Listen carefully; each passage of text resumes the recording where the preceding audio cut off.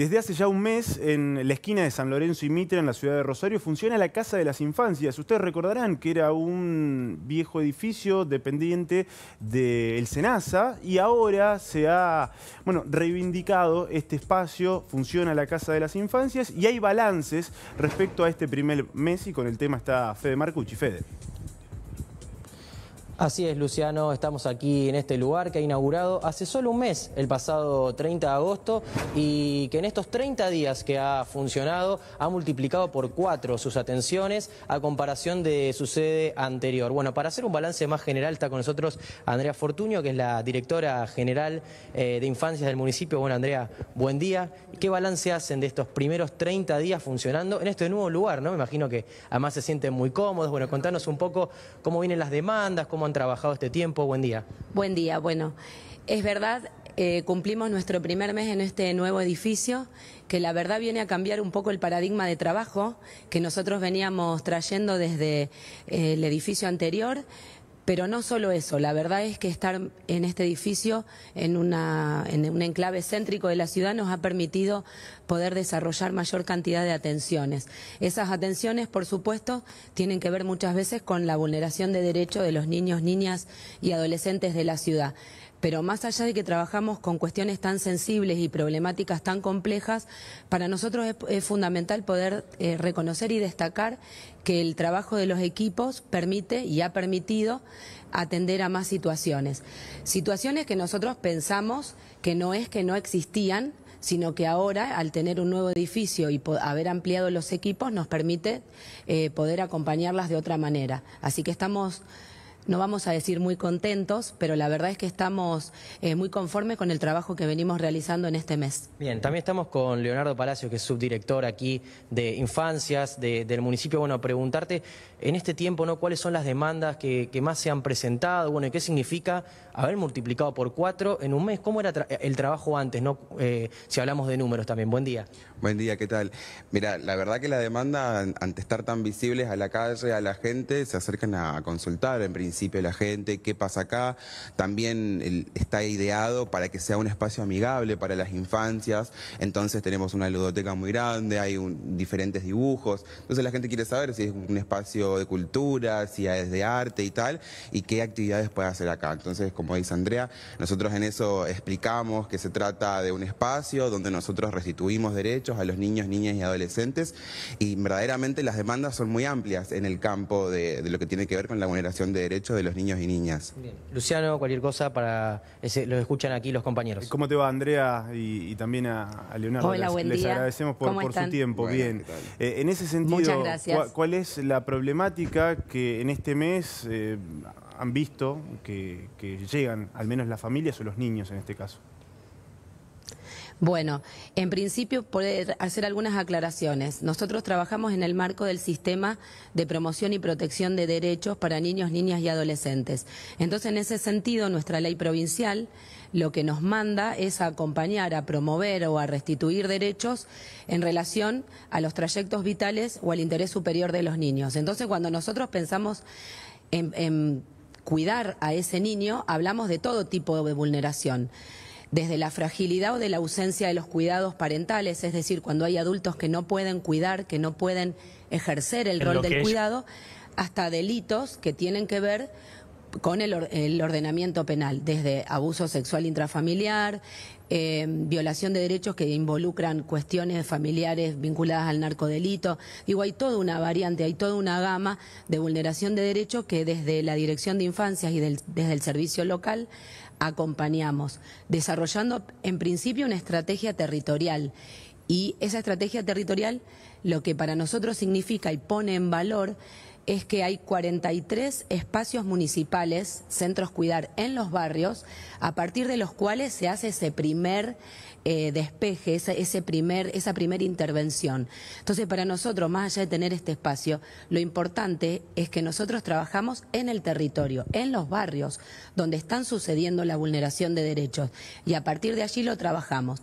Cuando la estrategia en territorio, en los barrios, en estas instituciones, es más compleja o requiere otro tipo de intervenciones, los equipos multidisciplinares que trabajan en la Casa de las Infancias hacen este abordaje que involucra articulación con otros niveles del Estado y por supuesto con la justicia.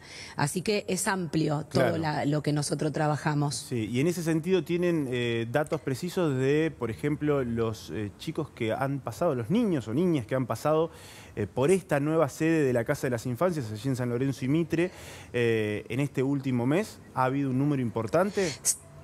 Sí, el, número ha crecido bastante, no es un número que nos alarma o que nos desborda, porque el trabajo que nosotros hacemos, como te decía, es un trabajo que se viene llevando desde el territorio, desde las instituciones de la MUNI en los barrios. Entonces, muchas de las situaciones son las que veníamos llevando. Lo que emerge, estas situaciones que emergen, han cuadruplicado el número que en igual tiempo, en igual periodo de tiempo, nosotros llevábamos adelante en el edificio anterior. Es decir, que la visibilidad del espacio, el estar en esta esquina céntrica, el poder estar visible para otras instituciones y para poblaciones que trabajan con niños, niñas y adolescentes, ha promovido que haya más familias, que haya más instituciones que nos pidan intervención en situaciones de vulneración de derechos. Es decir, ha, subido el número. y para nosotros es fundamental esto, porque nos permite poder mirar, poder intervenir y poder acompañar situaciones que no es que no existían, sino que no estaban tan visibles. Eh, Leonardo, ¿cómo arranca la jornada en las casas de las infancias? ¿Cómo es un día habitual? Arrancamos bien tempranito, a las siete y media de la mañana más o menos. La verdad que en un ambiente muy agradable con todos los compañeros y las compañeras que trabajan acá. Y posteriormente, bueno, empiezan a venir las personas a las diferentes consultas y los trámites que tengan que hacer aquí. La verdad que intentamos que sea un espacio bien resguardado, donde mm, respetamos la privacidad de cada uno, donde cada uno tiene lo que tiene que hacer. Y, la verdad que en este tiempo tenemos un, buen ambiente laboral me animaría eh, a decirlo, quizá en el nombre de mis compañeros y compañeras, pero dentro de todo venimos bien, venimos muy bien. Bien, y la última, al menos de, mi parte, y dejo el cierre ahí a, Fede Marcucci.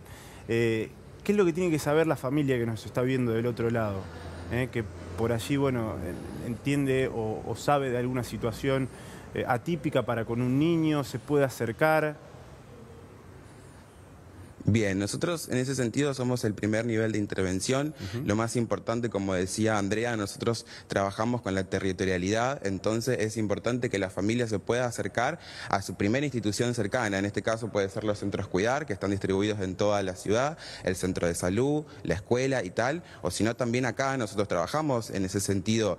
Las demandas, si vienen espontáneas, las vamos a recibir, las trabajamos, las trabajamos con otras instituciones, pero es importante también poder fortalecer el territorio en ese sentido y nosotros venimos haciendo esa articulación y trabajamos con las diferentes instituciones que se encuentran en los diferentes barrios. Leonardo, Andrea, muchas gracias y bueno, para que la gente sepa, ustedes están a disposición para quienes necesiten, aquí en la esquina de San Lorenzo y Mitre, ¿no? Eh, se puede repasar los horarios, hay algún teléfono y con esto cerramos. Muchas gracias. Bueno, nosotros estamos, como dice Fede, en la esquina de San Lorenzo y Mitre. El horario de atención es de 8 a 14, más allá de que después cada equipo interdisciplinario vaya fijando encuentros y entrevistas con las familias.